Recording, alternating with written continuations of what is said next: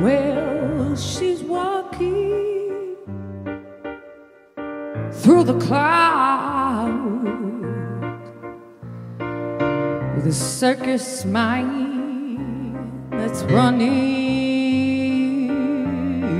around.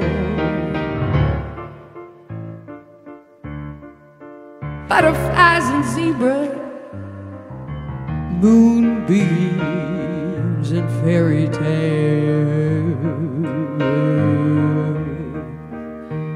Is all she ever thinks about riding with the wind.